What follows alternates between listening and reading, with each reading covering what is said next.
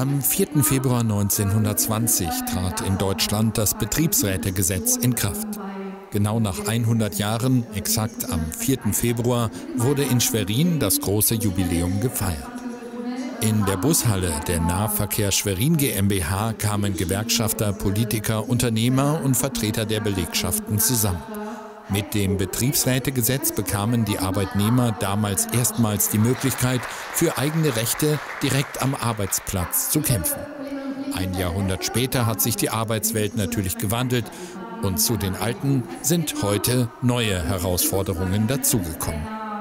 Also wir freuen uns total, dass wir heute dieses 100-jährige Jubiläum begehen können und glauben, dass es heute so aktuell ist wie fast nie zuvor, weil wir so unheimlichen Wandel in der Arbeitswelt haben. Es geht um Digitalisierung, auch um Arbeitsverdichtung und da spielen Betriebsräte eine erhebliche Rolle und die brauchen wir so wie nichts anderes zurzeit.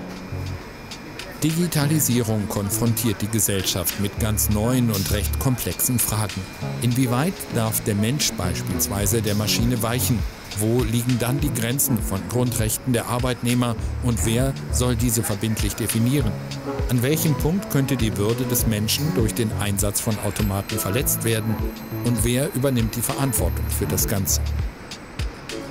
Das wird auch Kämpfe kosten, denn einfach werden die Beschäftigten bekommen nichts geschenkt. Also man muss sich darum kümmern, dass ihre Rechte gewahrt werden. Und Mitbestimmung ist ein ganz, ganz wichtiges Thema. Und das Zweite, was äh, auch hier eine Rolle spielt, ist die Tarifbindung.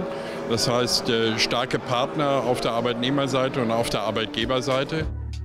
Die Nahverkehr Schwerin GmbH, kurz NVS, wurde nicht zufällig als Gastgeber ausgewählt.